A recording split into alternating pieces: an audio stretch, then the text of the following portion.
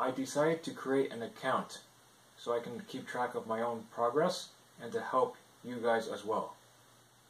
Over the years, I spent my time learning about fitness and working out a lot.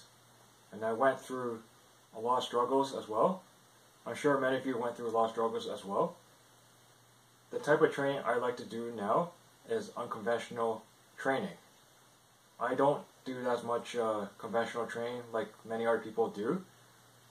And the same goes with uh, looking at vitiligo and other autoimmune conditions. I have vitiligo and chronic hives.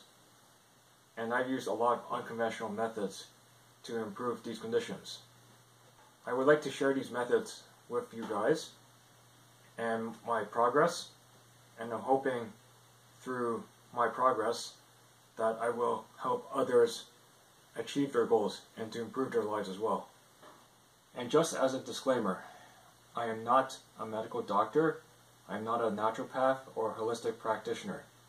I'm not a physiotherapist or athletic therapist. I am just a guy who loves to work out.